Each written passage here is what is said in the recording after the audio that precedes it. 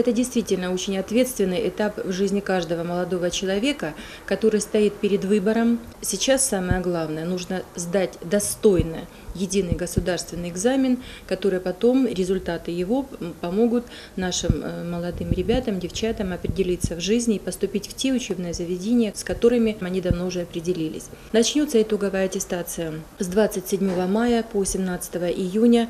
Э, она будет проводиться для выпускников 9-11 классов.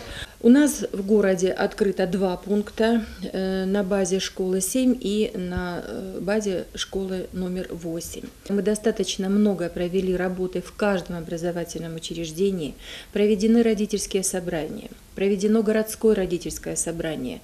И я хочу сказать, присутствовала там и убедилась действительно, что родители очень переживают, родители понимают, насколько серьезная организация вот данной работы и насколько э, дети серьезно должны подготовиться к сдаче единого государственного экзамена. Не нужно надеяться на случай, не нужно надеяться на авось. Не нужно думать о том, что я умнее и я проскочу.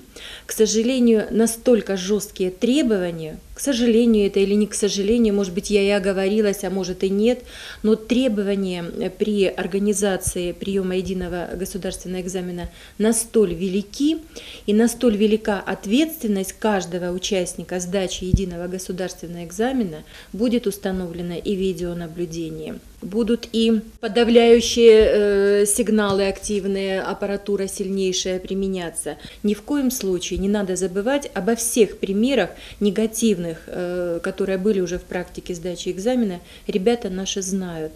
Не нужно портить себе жизнь в ее э, начале ее пути.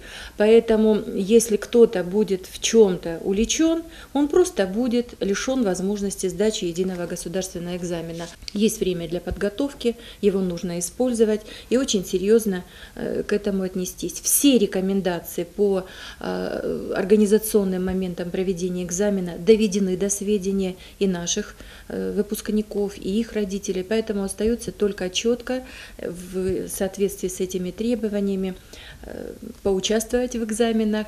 И я еще раз желаю нашим выпускникам удачи на экзаменах, э, удачи, еще раз удачи, чтобы все прошло хорошо, и потом они могли дальше продолжить свое обучение.